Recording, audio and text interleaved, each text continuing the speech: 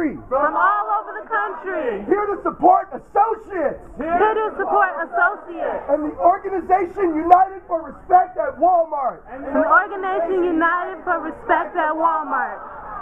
Associates most recent bonus. Associates most recent bonus. With the lowest associates have ever received at Walmart. For the lowest associates have ever received at Walmart.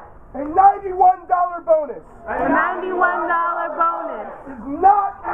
adequate to make ends meet. is not adequate to make ends meet.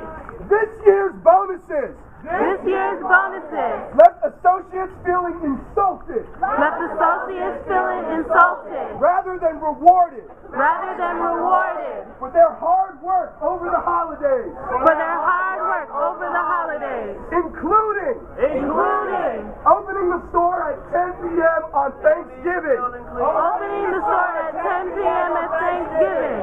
We call on Walmart to immediately. Call on Walmart to immediately.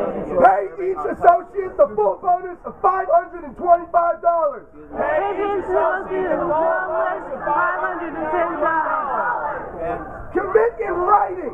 Commit in writing. Do not take hours away. Do not take hours away. From associates. From associates. After they receive the full bonus. After they receive the full bonus. and commit to full transparency and commit to full transparency when calculating future bonuses. when calculating future bonuses.